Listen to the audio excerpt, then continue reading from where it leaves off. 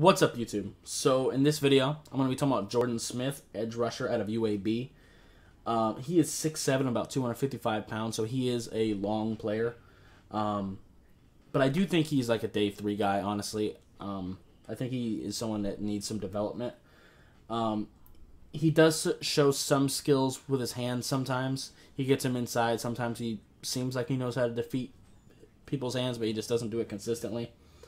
Um, he shows flashes of technique. He shows flashes of being able to, you know, do some head fakes to make the offensive lineman second guess if he's going to go inside or outside. Um, he shows flashes of being able to pull cloth and stuff like that. He just doesn't do any of it on a consistent basis.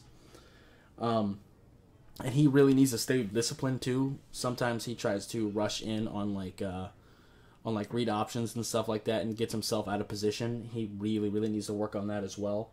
Um, but I think if he does that, I think he can be a pretty decent player. Um, but I do think he's a day three guy for sure, uh, developmental edge rusher. So, yeah. Anyway, I think that's pretty much going to be it for this video. If you liked it, appreciate hitting that like button. If you have any questions or comments leave in the comments down below, subscribe if you haven't already, and I'll see you next time. Bye.